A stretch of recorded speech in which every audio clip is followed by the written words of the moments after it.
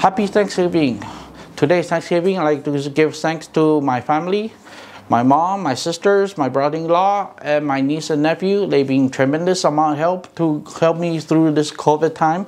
I also like to thank my co-workers and my clients. Because of COVID, there's a lot of procedure change and my coworker and my clients being helped me through all this process so make things a lot easier. So I was able to buy and sell and doing lease for them. So it's very good and I like to thank them for every one of their help.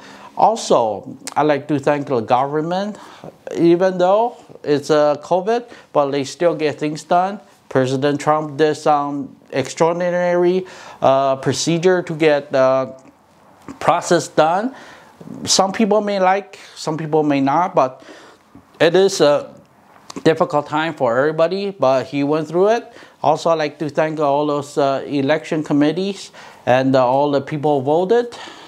Some may say there's some issue, but thanks to them, we might be able to clean up the voting procedure in the future.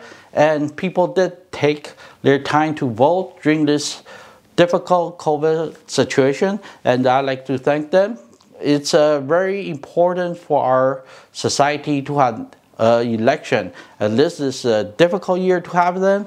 Lucky we didn't push to next year and we open up a lot of uh, opportunity to discover some issue we may have and uh, we may have a new president but it's not said yet but at least we can give thanks to them we have our uh, election get through without any major issues. Nobody have a major problem. We still go through a process, but it's on the process. And thanks to everybody, we still going through it. Uh, we we don't have any major problems as a society. I think we're doing okay. So thanks to everyone and thanks to our past history and uh, with all those people help United States and us to get to current state of uh, situation. I like to thank them a lot and thank everyone. We've been here and we make things happen. I think we will be fine next year, even though we haven't, we don't know who the president yet. Some people say it's Biden. Some people say, oh, Trump gonna win, but doesn't matter. We're here. We're doing very good.